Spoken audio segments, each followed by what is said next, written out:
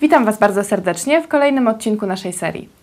Powiedzieliśmy już sobie o tym, jakie są podstawowe kwestie dotyczące umów. Powiedzieliśmy też, jak podejść do umowy pod względem formalnym.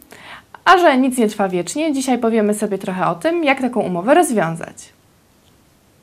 Umowa może być rozwiązana na kilka sposobów.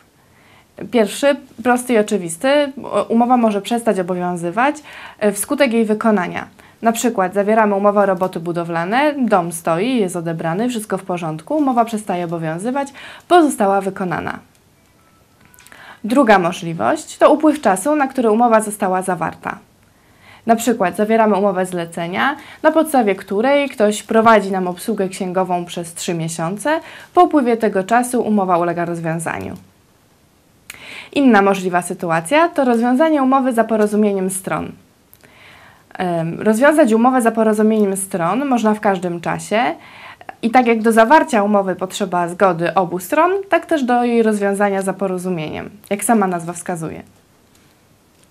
O czym należy pamiętać to to, że jeżeli dla umowy przewidziana jest jakaś specjalna forma, przykład forma aktu notarialnego, to dla rozwiązania takiej umowy również potrzebne jest zachowanie tej samej formy, czyli tutaj na przykład formy aktu notarialnego.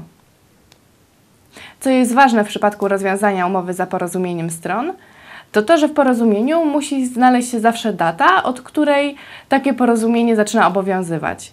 To jest ta sama data, od której przestaje obowiązywać umowa, którą chcieliśmy rozwiązać. Umowę możemy także rozwiązać za wypowiedzeniem.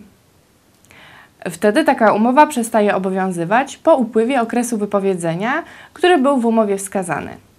Żeby mogło być, dojść do wypowiedzenia, konieczne jest oświadczenie złożone przez jedną ze stron.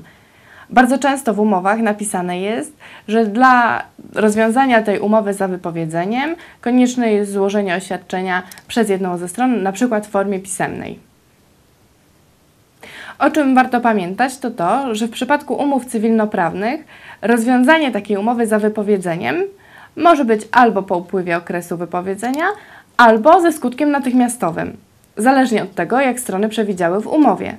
Troszeczkę inaczej jest tutaj w przypadku umów o pracę. Rozwiązanie umowy o pracę za wypowiedzeniem zawsze skutkuje rozwiązaniem umowy po upływie tego konkretnego okresu. To jest różnie, zależnie od tego, jaką umowę mamy zawartą. Mogą być to dwa tygodnie, miesiąc lub trzy miesiące. E, w przypadku umów o pracę nie ma możliwości, żeby wypowiedzenie miało skutek natychmiastowy. W takim przypadku to są tak zwane dyscyplinarki i wtedy dochodzi do rozwiązania umowy bez wypowiedzenia. Ostatnim sposobem rozwiązania umowy, o którym chcę Wam dzisiaj powiedzieć, jest odstąpienie od umowy. Żeby można było zastosować ten tryb, taka możliwość musi być przewidziana albo w treści umowy zawartej między stronami, e, albo w ustawie, która znajduje zastosowanie do konkretnego rodzaju umowy, który zawarliśmy. W umowach cywilnoprawnych zawieranych na przykład między przedsiębiorcami e, bardzo często skorzystanie z odstąpienia od umowy uzależniane jest od zapłaty określonej kwoty, tak zwanego odstępnego, albo na przykład przewidziane jest w sytuacji, gdy druga strona nie wywiąże się ze swojego zobowiązania na przykład do określonego dnia, wtedy ta pierwsza może złożyć oświadczenie o odstąpieniu od umowy. Mm, o czym warto pamiętać, to to, że oświadczenie o odstąpieniu od umowy przeważnie też musi być złożone w określonej formie, tak jak e, oświadczenie o wypowiedzeniu umowy i przeważnie jest to forma pisemna, ale oczywiście forma ta zależy od tego, co strony sobie ustalą wspólnie w umowie. Troszeczkę inaczej jest w przypadku umów zawieranych przez konsumentów.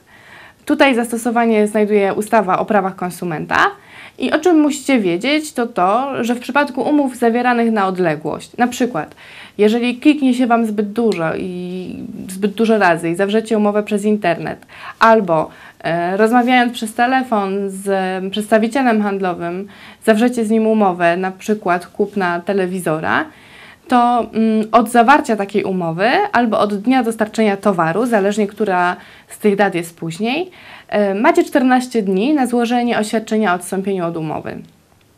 Nie ma tutaj konieczności podawania absolutnie żadnej przyczyny, e, nie ma też żadnego trybu do rozpoznania tego oświadczenia.